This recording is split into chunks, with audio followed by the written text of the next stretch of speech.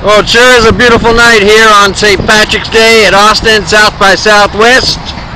And I'm uh, right behind Riverside Drive here, heading down. There's, uh, I don't know, some kind of concert going on here.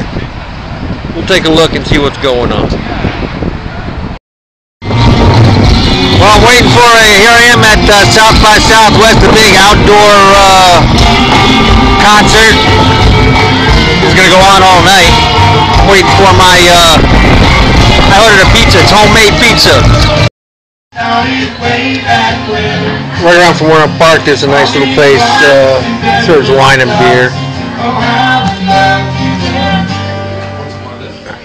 Live music. It's an old house right across from It's Pete been a long weekend for us, man, and it's only Saturday, so I just want to thank our friends coming in from Dallas.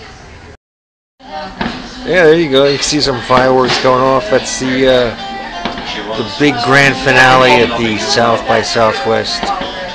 It's just a few blocks from here. It was really crowded, so I didn't feel like going. But there you go. There's the fireworks right there. Pretty, huh?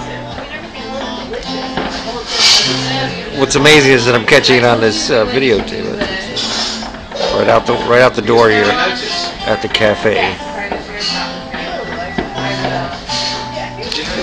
Yeah, this trip uh, cross country in 2011 to visit uh, family in Florida was uh, a great, great ride across America.